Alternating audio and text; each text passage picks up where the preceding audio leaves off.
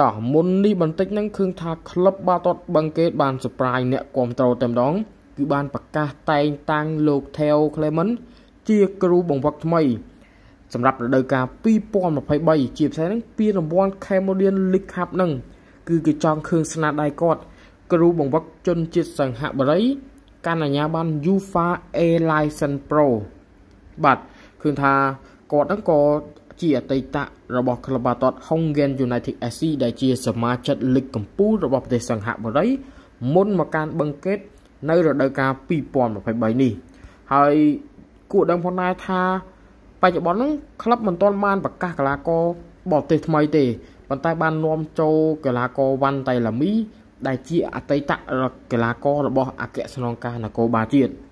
ហើយក្នុងនោះផងដែរក្លឹបក៏បាននាំចូល ខ្សែបំរើដែលមានបទពិសោធន៍មកហ្នឹងគឺតិតឌីណា ពីព្រៃវែងតិតឌីណានេះមកជំនួសលីមីសាតដែលបានចាក់ចេញទៅ ISI ទៅកៅសាន់ជ័យហើយក្លឹបក៏បាននាំចូលជាលើកទី2គឺ Anderson Anderson បញ្ចប់កិច្ចសន្យាខ្ចីជើងពី Naga ឥឡូវវើមកបង្កើតវិញហើយហើយក៏បាននាំចូលខ្សែការពារស្លាប់កាន់ពិសាកាន់ពិសានេះមកពី Tiffy Ami AC ជំនួសកន្លែង Save Rosit ហើយ Anderson អបាយមិនដឹងមកជំនួសកៅអី Taher ដែលបានចាក់ចេញហើយក្លឹបក៏បាននាំចូលកីឡាករដែលចាប់កិច្ចសន្យាខ្ចីជើងហ្នឹងគឺស៊ុំសានក៏ដូចជាណាយឆេនប៉ាយបាទឆេងប៉ាវបាទឆេងប៉ាវហើយក្លឹបក៏បាននាំចូលកីឡាករយុវជន3នាក់ផងដែរពីយុវជនបាទី គឺអាវសវណ្ណរាខៀនសុបិនក៏ដូចជាកីឡាករហេងសុវណ្ណបញ្ញា បាទគួរដឹងផងដែរថាក្លឹបបាទាត់បឹងកេត រដូវកាល2022បានបញ្ចប់ហ្នឹងគឺចែកផ្លូវកីឡាករច្រើនមែនទែនមានដូចជាលីមីសានអែមផាណាហ៊ូកំហ៊ុយសេបរ៉ូស៊ីបលឹមអរុនរ៉េម៉ាន់ក៏ដូចជាខ្សែប្រយុទ្ធបរទេសហ្នឹងគឺអាចាយីមូស្តាហ្វាសាសៃសាកេរីក៏ដូចជាខ្សែការពារតាហឺផងដែរហើយ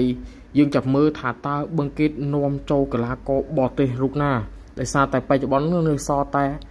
Alexandre Cardozo ម្នាក់ប៉ុណ្ណោះដូច្នេះបឹងគេត្រូវការកម្លាំងបន្ថែម ជាពិសេសហ្នឹងគឺកីឡាករបរទេសដូចជាខ្សែបំរើខ្សែប្រយុទ្ធជាដើម ដើម្បីត្រៀមពានរង្វាន់ Cameroon League Cup ដែលស្ថិតនៅពូ A ជាមួយនឹងវិសាខាអីជាដើមហ្នឹងយើងចាំមើលទាំងអស់គ្នាជាពិសេសហ្នឹងគឺលោក Theo Clement ដែលជាគ្រូបង្វឹកថ្មីជនជាតិសង្ហបុរី